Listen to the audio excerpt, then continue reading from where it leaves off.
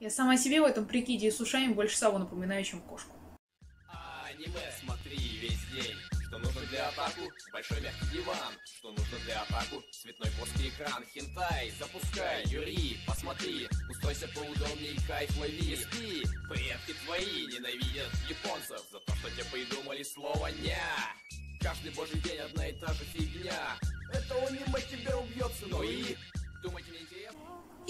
наш слуга Оре Сама. Довольно часто я говорю, что я стараюсь делать обзоры максимально объективными, и мне в этом помогает отсутствие у меня синдрома утенка. Что ж, сегодня бросим мне вызов. Это аниме я увидела в детстве и была им очарована. Давайте посмотрим, насколько объективным будет мой обзор теперь. Атагуал — это нехилая франшиза. Именно этот мувик снят по 18-томной части всей истории.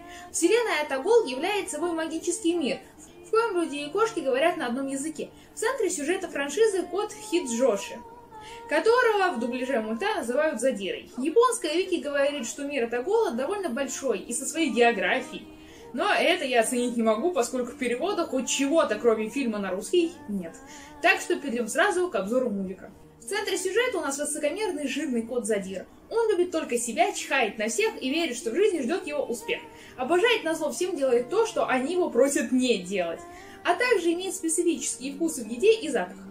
Как-то раз, попытавшись сорвать вечеринку, кошак ныряет в воду, где находит чей-то гроб, из которого вылазит разумный цветок, и начинает петь странную песню, которая успокаивает и дарует блаженство любому, но не задире, который думает желудком.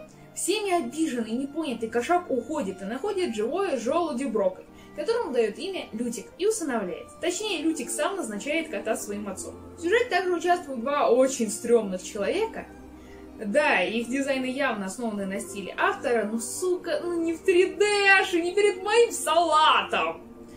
И еще тут есть код ниндзя Храбрец, чьи вайбы я потом ловила у Шуна при просмотре Бакуган.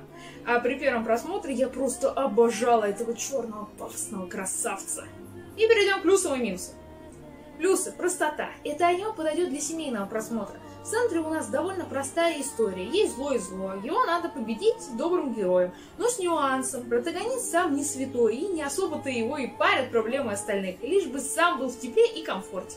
Второе. Отношение Лютика и Задира. Они милые и теплые. Задире нравится, что есть кто-то любящий его и видящий в нем авторитет.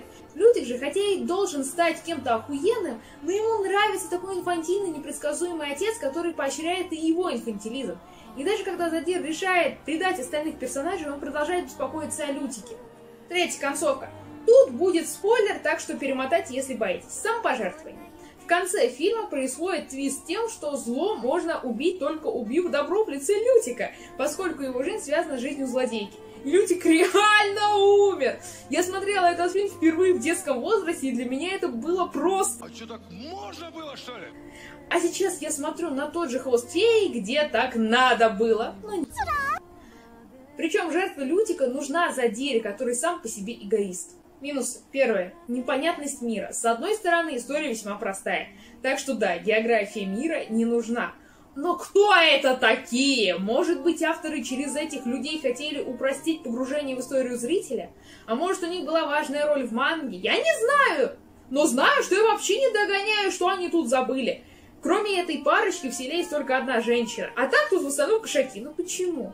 Второй только дубляж. Тут полно. Птичку жалко. Не учите меня жить, лучше помогите материально. Сего явно не было в оригинале. Так что фиг знает, что еще надо себя или в дубляже. Но я не знаю, где сады. Оценочки. Рисовка 5. Но люди тут так себе. Кошаки выглядят более-менее. Королева стрёмная, но окей, она цветок. Хотя Лютик же миленький. Музыка 8. Красиво, да и в тему. Сюжет 8. За концовку и легкость, но за непонятность скилла. Персонажи 6. За задиру, храбреца, Лютика, да и идеи здешнего антагониста мне вообще нравятся.